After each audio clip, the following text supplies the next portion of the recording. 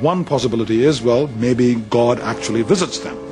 But if that's true, as a scientist, I can't test this. There's no way of finding out.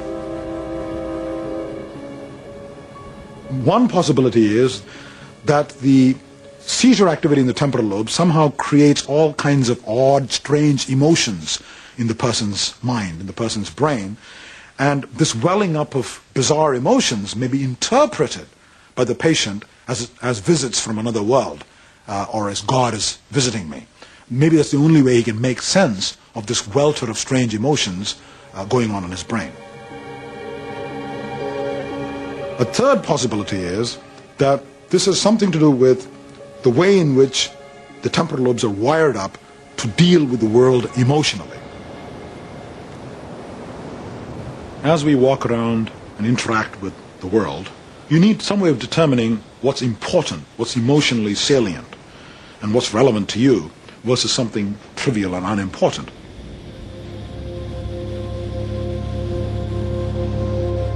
Now, how does this come about? We think what's critical is the connections between the sensory areas in the, in the temporal lobes and the amygdala, which is the gateway to the emotional centers in the brain.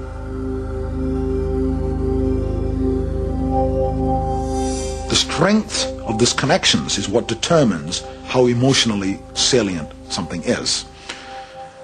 And therefore, you could speak of a, a, sort of emotional salience landscape with hills and valleys corresponding to what's important and what's not important.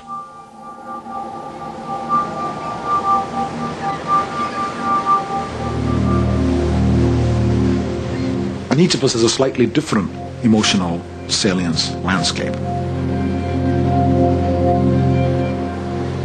Now consider what happens in temporal lobe epilepsy. When you have repeated seizures, what might be going on is an indiscriminate strengthening of all these pathways. It's a bit like water flowing down rivulets along the cliff surface. When it rains repeatedly, there's an increasing tendency for the water to make furrows along one pathway, and this progressive deepening of the furrows artificially raises the emotional significance of some categories of inputs. So instead of just finding lions and tigers and mothers emotionally salient, he finds everything deeply salient. For example, a grain of sand, a piece of driftwood, seaweed. All of this becomes imbued with deep significance.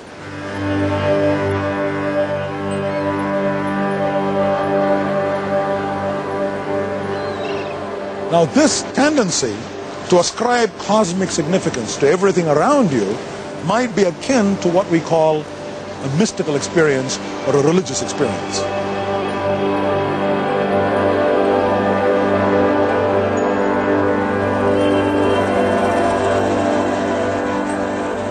He has a seizure, he'll want to talk philosophy. He'll want to discuss all the things that are floating around in the stew he's got up here that he's trying to reconstruct. Mm. Thoughts that he may have had just just floating through his mind while he was in a seizure mode uh-huh. may come surfacing. I see. Okay. Also, but also uh, you said he's become more emotional because because of the seizure, so that's mm-hmm. that's helpful too. Much more sensitive, but oddly enough, not in regards to himself. Okay. okay. Okay. But in regards to atrocities, disasters, things like that, anywhere and everywhere, ah. wrongs done to other people in Yugoslavia, you know. Yeah. It's, oh, God. But you know what? A lot of times I sit there and go, okay, um,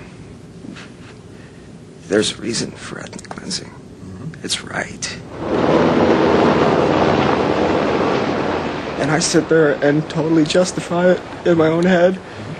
Oh my God, I 100% justified, 100% right for the human race. Oh my God. And you know what? I am so right in my own head. I know I could go out there and get people to follow me. Not not like these wackos with sheets on their heads. Not like those idiots. But now it's just the new generation of the prophets. Yep. And are, were all the prophets people that were flopping around on the ground? Is that what this whole message was? The gift from the gods this whole time? That's possible, isn't it? Yeah. I've never been religious ever.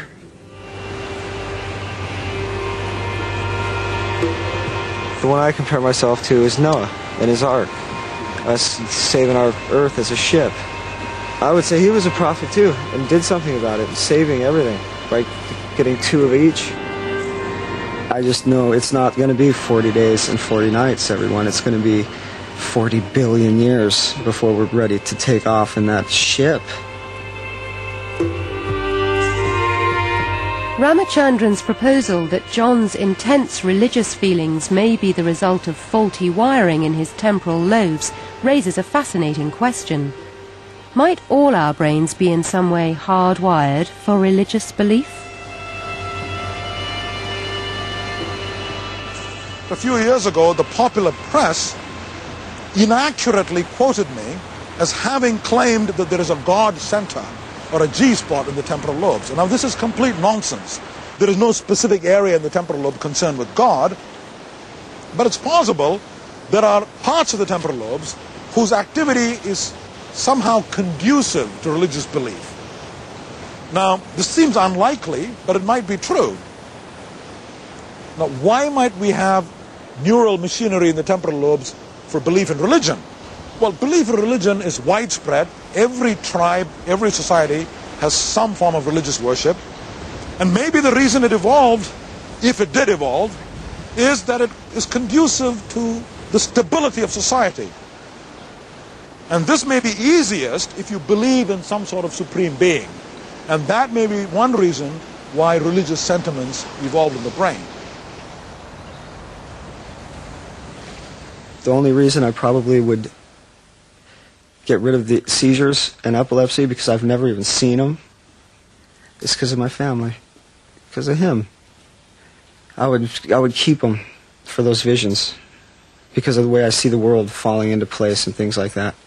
It's a wild little place to, to be stuck in there. But it also seems like a key. And right now I haven't learned how to get to the key without use the key without those seizures. If I was told that I'd never have a chance to have that key again, sorry, I'm going to hold on to that thing. Just because some patients with temporal lobe seizures have intense religious experiences, this does not in any way invalidate that experience for that patient.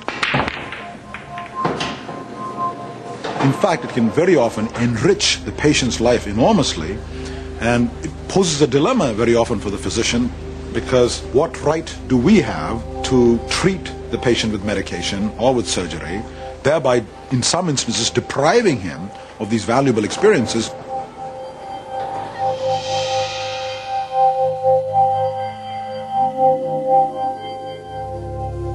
To me, the exciting thing is that subjects like God and religion can now be actually addressed by us scientists. We can begin to ask questions about religion and God and begin to approach these questions by listening to these patients, by talking with them, and by studying.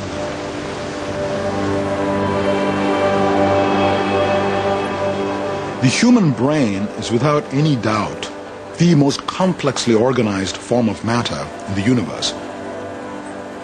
The brain is made up of 100 billion nerve cells or neurons. Someone has calculated that the number of possible permutations and combinations of brain activity exceeds the number of elementary particles in the universe. And this gives you some idea of the staggering complexity one is faced with in trying to understand the functions of this mysterious organ. So the question is, how do you even begin? A Channel 4 recorded information line with details of organizations offering support on issues like brain injury is available on 08456 10 22 55.